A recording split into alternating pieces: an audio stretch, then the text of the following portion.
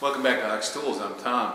So I got a little special announcement here. Um, I had mentioned, I don't know, quite a while ago now, that uh, once a year here in this artist community that I live in, um, we have an open studios event. Well, that's coming up uh, shortly here. It's May 3rd and May 4th, um, 2014.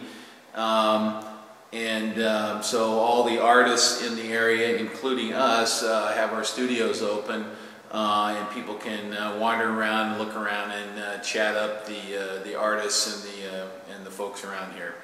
Um, so any of you oxen out there that are California natives and feel like taking a little day trip, um, you're welcome to come by. I'll have the shop open. I'll be here both days uh, 10 a.m. to 5 p.m. Saturday and Sunday, and uh, no early birds and no late birds.